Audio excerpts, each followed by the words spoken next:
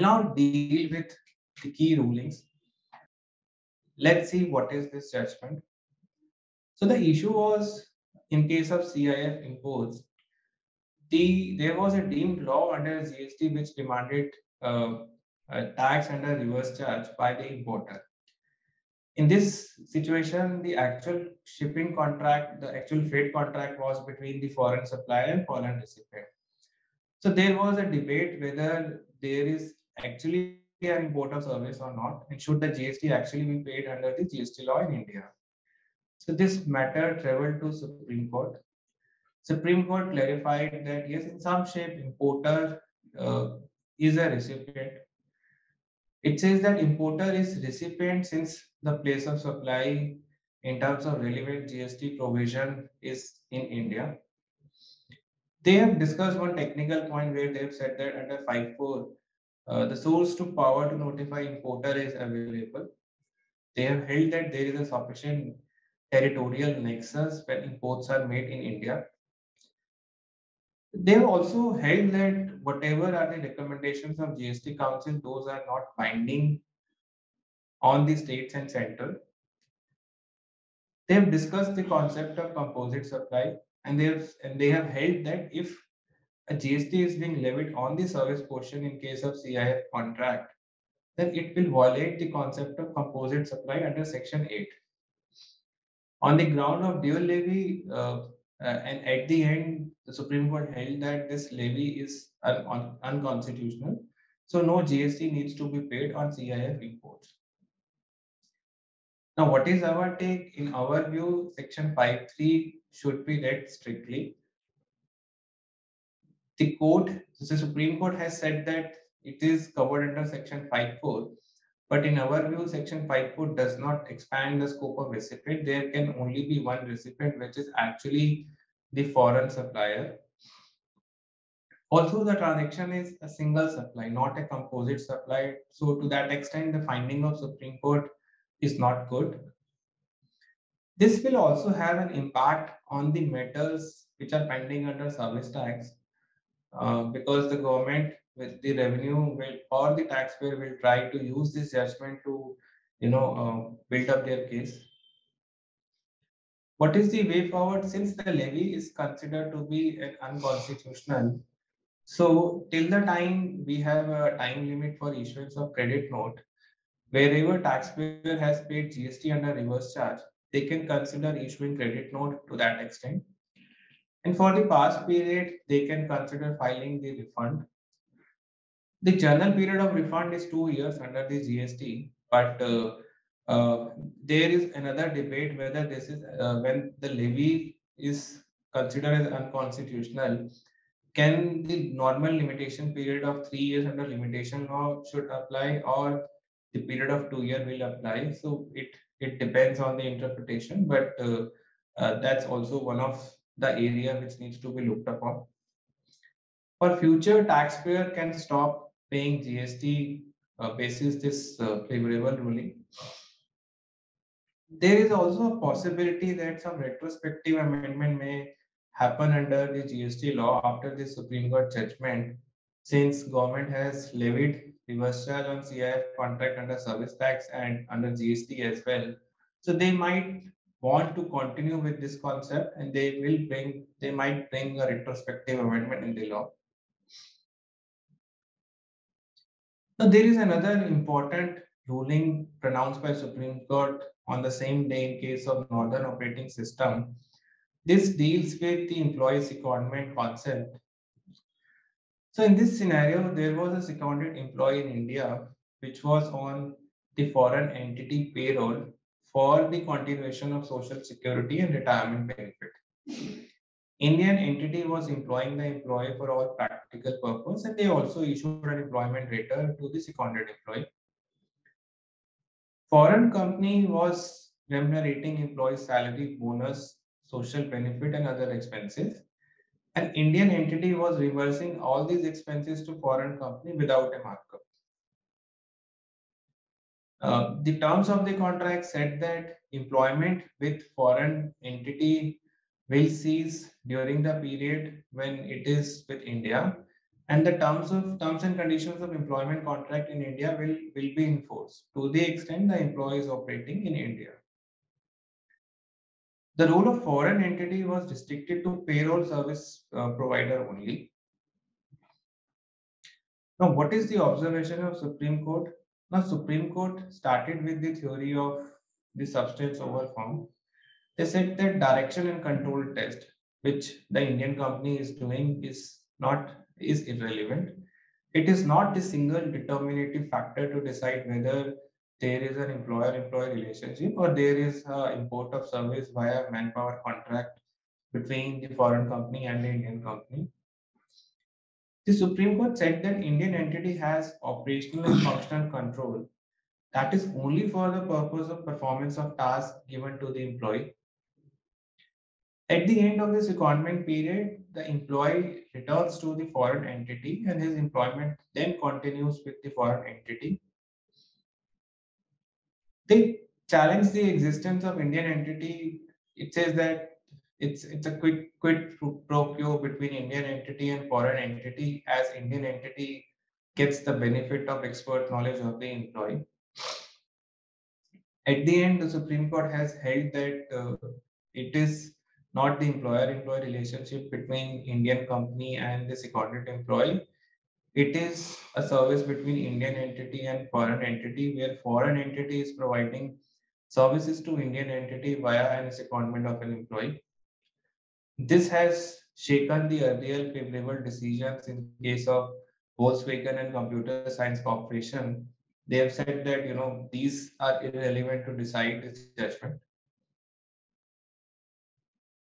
The Supreme Court concluded service tax is leviable under reverse charge as foreign entity is providing manpower supply services to Indian entity.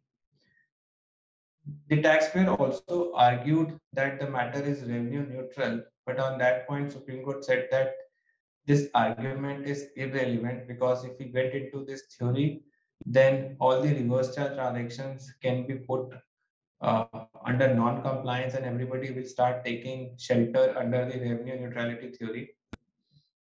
Since the matter involved interpretation of law, Supreme Court agreed that extended period of limitation is not applicable in this case. We conducted a poll on this question as well, whether this ruling has a bearing on the existing contract between the companies. The answer is yes, because it is very common between Indian company and multinational company where it has overseas companies that there are a lot of employees seconded in India. So this decision under service tax is equally applicable under GST because the taxing entries are very similar. Most importantly, it will also have an impact on the income tax positions adopted at the moment since this seconded employee was treated as employee. So all the compliances from FEMA, RBI, and income tax was done considering this to be uh, an Indian employee. The moment we consider this to be an import of services, then all these positions needs a relook. Now, what is the way forward? In our view, this judgment is very fact specific it can still be distinguished even today depending upon the terms of the agreement of the secondment contract. So which means every secondment contract uh, may not be affected by this judgment. We have to look into the facts of each secondment contract and then understand to what extent this judgment impacts this secondment contract. On few grounds, in our view, this judgment is incorrect. It is incorrect to say that Indian company controls and compliance as employer. This judgment fails to consider the concept of dual and joint employment. Even the department has recognized this concept in the past. They also issued a draft circular under service tax law where they have considered this a joint employment concept and said that if this is uh, if this is the case of joint employment, then it, it, it is a case of employer-employee relationship. Revenue neutrality was one of the important points which should have been considered. Extended period is not invocable. That is the correct proposition that's been laid down by Supreme Court. And technically, in our view, service tax was not leviable in the present case since it was a clear-cut case of employer-employee relationship between the Indian entity and the seconded employee. Now, it is possible that since this judgment has a very wide implication for an industry, in the past, the government has issued circulars and instructions on those issues which has a wider implication, like after the decision of Ultratech on GTS services credit, after the Westinghouse judgment on the classifications of auto component part, parts. So we can expect a similar circular or instructions from the government on the point of this judgment and how to treat uh, this secondment of an employee from a GST standpoint. What is the way forward? Under service tax, since most of the period is time but only three months are being left. So that is the period which can be, uh, if there are open notices uh, already between the department and taxpayer, then only for these three months, there could be a possible demand. Matter is relevant under GST. So the all the employment contracts, secondment contracts needs to be reanalyzed to decide the GST liability under reverse charge. Uh, there is another uh, point which needs to be considered. A, should we consider paying GST under protest for the past period and claim credit to avoid any litigation from the department? If yes, then what should be the value adopted for this transaction? So this also needs a deliberate consideration. For future to avoid the potential dispute wherever credit is available, the taxpayer can consider paying GST under reverse charge and claim credit. Also, uh, the taxpayer via some industry forum can consider filing a representation before the CBIC seeking a clarification since this can this judgment can open a Pandora box for the past period as well as the future period. And in parallel, the impact of this judgment under income tax law also needs to be analyzed. So with this, I hand over this session to my colleague Saurabh, who will take it forward. Thanks, Gaurav, for explaining these two important rulings from Supreme Court. Uh, besides these two rulings, we have other rulings as well, where the various courts have dealt upon and have laid down various principles which are relevant for future transactions as well starting with one of the very debatable issues relating to payment of tax by supplier as a precondition to claim credit. Calcutta High Court has come up again with a judgment in the case of Sanchita Kundu. In this case, the issue was that the suppliers registrations were cancelled retrospectively, and therefore the department sought to deny the GST or deny the ITC at the hands of the buyer. In this case, the transactions were supported by genuine documents. All the payments were made through banking channels and when the transactions were made, these registrations were active. In that context, the court has remanded back the matter with direction that if everything is found to be genuine, benefit of ITC is to be extended to the bona fide petitioner. Now, similar rulings have already come in past. As I was saying in Calcutta High Court only, there was a ruling of LGW Industries where similar position was held. Uh, further, in case of DY Beathel by Madras High Court as well, the court remanded back the matter and asked the revenue to ex examine whether suppliers uh, the transaction has been genuine or not and whether the buyer has been a bona fide buyer at all or not. Now this issue has a lot of repercussions. In past two three years uh, the department has been very aggressive on claiming uh, these itc back from the buyers itself and they are pressurizing buyers onto onto uh, reverse all these itcs that have been claimed in the past period Moving on, we have another judgment of Vedanta Limited. This relates to refund of IGST, which was paid on exports. There was additional IGST also, which was paid later because of the variation in rates in London Metal Exchange. And that led to uh, a payment of tax twice, uh, one for the real IGST transaction or the real value, and second for the variation in rates that had that had occurred.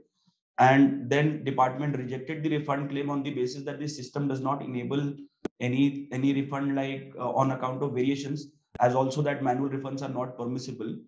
In that context, the department relied upon previous judgment of uh, of Gujarat High Court in Amit Cotton Industries, and they directed to process the refund and also directed that similar uh, contingencies shall always be figured out and shall al always be taken care of by the department, even if the refunds are being filed only online.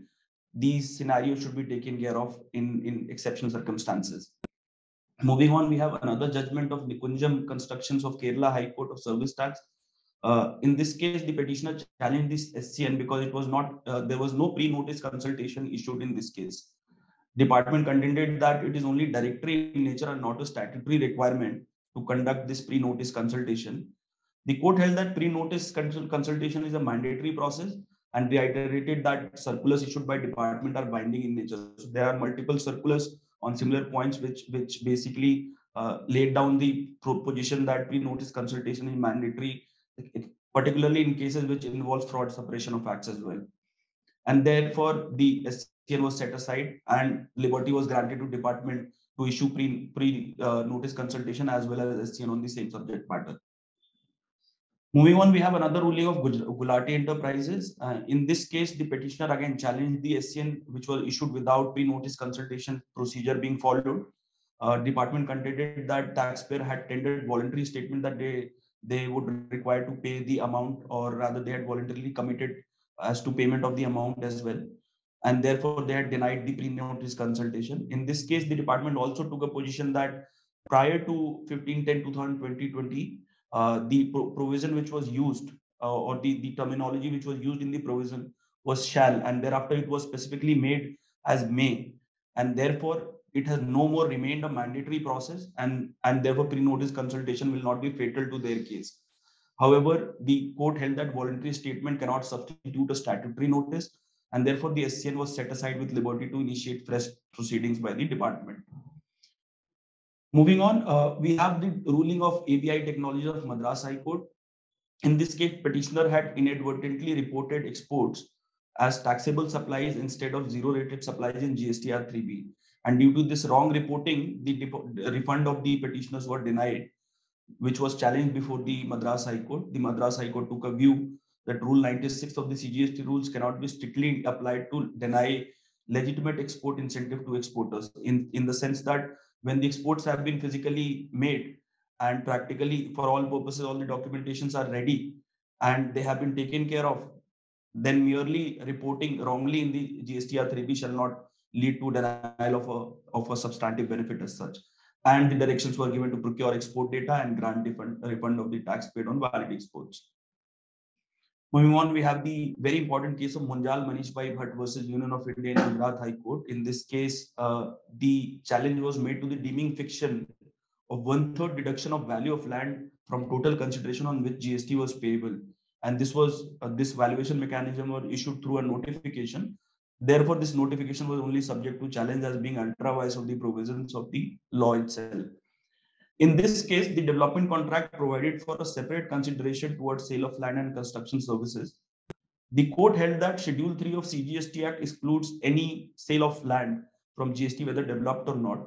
Further, deeming fiction can be applied only where actual value is not ascertainable and should not be contrary to statute. So in this case, since actual value of, of land was available with the with the taxpayer, Therefore, this, this concept of one third notional value should not be applied in these cases. And, and therefore, the, the provision or the notification was read down to mean that it will be an optional, uh, it will be optional in the hands of taxpayers to really adopt the mechanism on the basis of one third value of land or the actual value of land as, as they may feel right or wherever the values are available.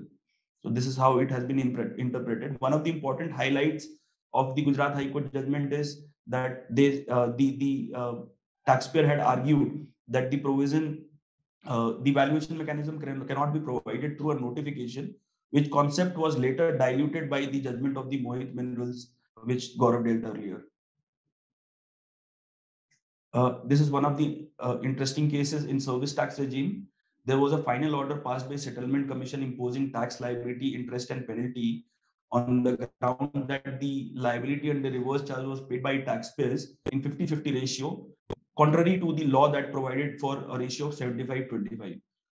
The court held that as tax has reached the exchequer in entirety, short payment cannot be alleged, and therefore dual payment cannot be cannot be taken from from the taxpayers as such. This is one of the few rulings, or in fact, one of the one of the rulings of this subject matter. This is the first time uh, the courts have gone into to allow uh, the the benefit to the taxpayers when the taxes have already been paid in whatever ratio that may be. Another case and very important here to highlight is that uh, summons were issued to managing director of the company instead of its authorized representative. There was no evidence that the company was not cooperating or presence of managing director was actually required. In that scenario, uh, the court struck down the summons. They said that senior personnel cannot be summoned on a regular basis. They directed to issue a modified summons. And this was also the court relied upon the instructions issued by uh, CBIC in well, well in 1987 where it said that it should not be a regular process to call for a senior officer or a, or a person like managing director of the company on a regular basis. And therefore, uh, this, this ruling will extend a lot of benefits because the department has been aggressively uh, issuing summons and have diluted the concept of summons in all senses. So this is the last ruling. Uh, happy to share that this was argued by Nitya Tax Associates itself in the case of Ericsson India Private Limited. In this case, the payment of customs duty was paid twice because there was an error on the portal. On the first day, the entire duty was paid, which did not reflect on the ICS portal. On the very next day, this duty was paid again uh, through another bank account, and therefore thereafter a refund claim was filed belatedly after passing of one year. In that case, it was held that bar of time limitation of one year shall not apply for any excess amount that was paid, and that cannot be called as duty as such. So this lays down an important principle that even if I would have assessed the tax as duty, then also if it is excess payment and has been paid by mistake of law or fact, then in such scenarios, uh, the, the time limit of one year shall not apply because the amount that would be deposited would not qualify as duty as such. Thank you for joining this webinar. We will soon be available to you in the next webinar. Thank you.